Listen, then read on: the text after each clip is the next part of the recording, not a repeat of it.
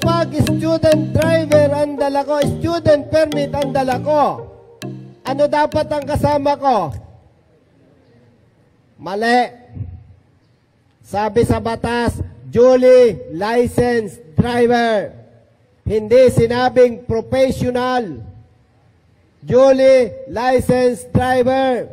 Ibig sabihin, yung kotse ko halimbawa, adventure, private vehicle. Ako non-proof. Bakit? Hindi kailangan professional driver's license kapag ang ginagamit na sasakyan ay non-proof. So kung minamaneho ko yung aking adventure, pribadong sasakyan, hindi ko kailangan professional driver's license. Kailangan ko non-proof. Tayo ka bro. Ito naman kapatid ko halimbawa, may student permit. Sabi niya, Kuya, may student permit. Ah, ganun ba? O sige, ikaw magmaneho dito. Hmm. Hindi kami pwedeng uli ng enforcer. Bakit? Private ang dalang sasakyan. Ako ay non-professional driver. Student permit siya. Ba't mo ko ulihin? Ay sir, sabi sa ano, kailangan professional, magbasa ka nga. Sinasabi, duly licensed driver, may lisensya ako bro. Private ang dala ko. Ha? Magbasa ka ha? Marami rin sa LTO, hindi alam yan. Professional daw. No. Magbasa ka. Huwag kang nagpapadala sa kwento. Mag-google kayo. Student permit. Click nyo. Makikita nyo doon. Accompanied by a duly licensed driver. Hindi sinabing professional. Ah? So, pag may kumontra sa inyo, sabihin nyo, magbasa. Okay?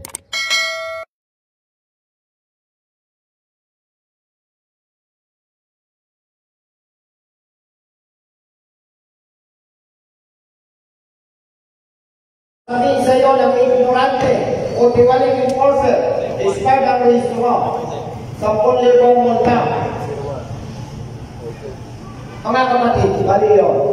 Kasi po, kung nakarehistro ang iyong motorsiklo ng January 2, buong month of January, pwede mong gamitin. Hindi ka pwedeng sabihin expired. Gets nyo? Buong month. Buong month.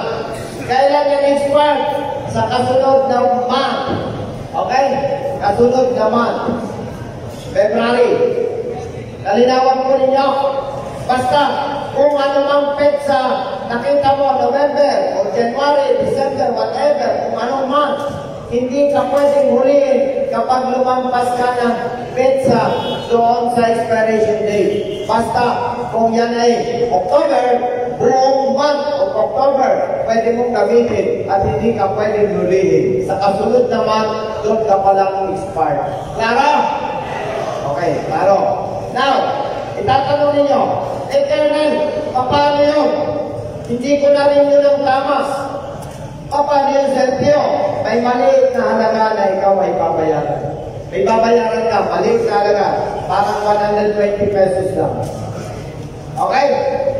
120, ano po? Klaro, klaro. Klaro.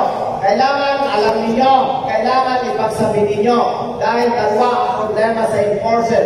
Mayroong walang alam, ignorante, meron namang alam pero kakapusuhin ka. Okay? Thank you. Okay, ganito. May mga pulis, may mga enforcer na ignorante sa ganyan. Okay? Now, mahalagang paalala, ulitin ko, mahalagang paalala sa inyong lahat.